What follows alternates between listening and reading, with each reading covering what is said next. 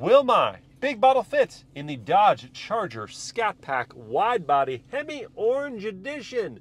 Let's find out. Starting with the front cup holders, which we slide to reveal, and are then disappointed by their size. On the side, could it do this? Well, then it would eject, and that's not fun.